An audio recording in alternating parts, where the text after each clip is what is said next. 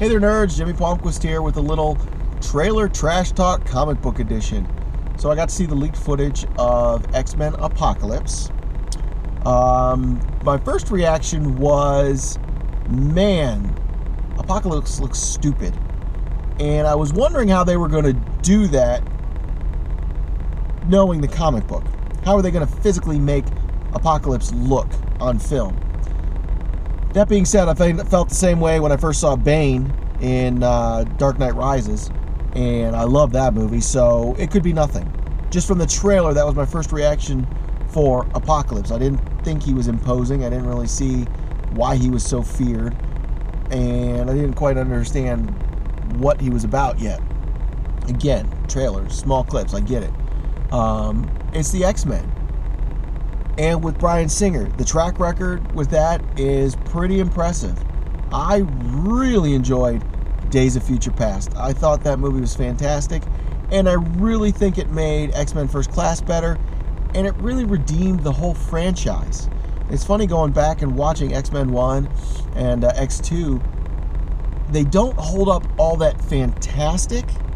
They're still entertaining movies, and I still enjoy them, especially X2. But there's still sort of this. Uh, uh, well, it's easy to say 90s feel because that's when they were made, but this sort of 90s marketing feel, like the the costumes and making them a little different from the comic book so they could sell more figurines and stuff like that.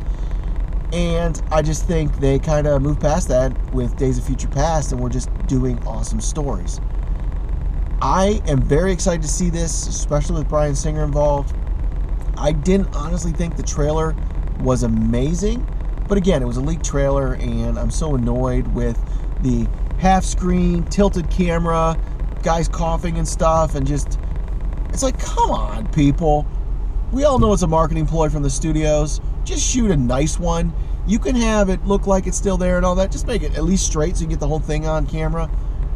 Yes, I'm cynical. Yes, I'm a, I'm an old man nerd. I get it, but it would be nice to just see it complete.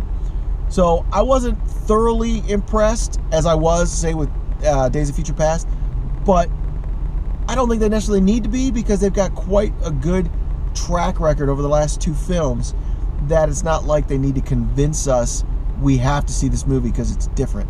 In fact, I'd like it to be more of the same because I thought it was fantastic. Our X Men back. I can't wait to see it. I'm bummed, and this has nothing to do with the trailer. I'm bummed that we're done with the Ian McKellen and Patrick Stewart cast. That was just phenomenal storytelling, phenomenal actors interaction. I loved it.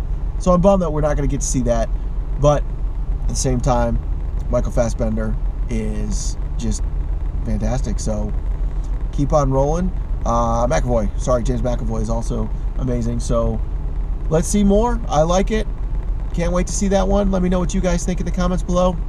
X Men Apocalypse, Comic Con leaked trailer.